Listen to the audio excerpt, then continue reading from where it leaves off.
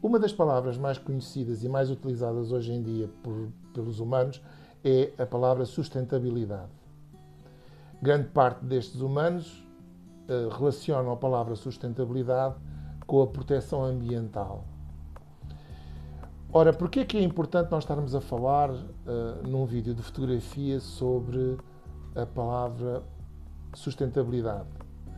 Porque ela, na verdade, tem dois aspectos em que a fotografia está super presente.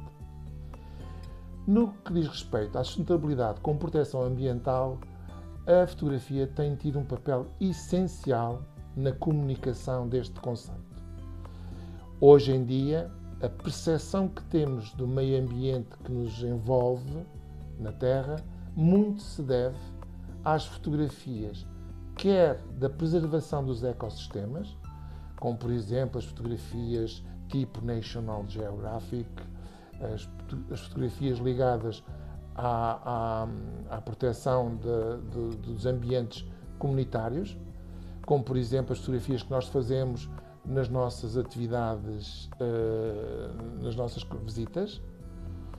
E por outro lado, a fotografia aparece como dramaticamente um veículo de comunicação dos atentados ou das consequências de não estarmos a tomar decisões sustentáveis no que diz respeito à proteção ambiental.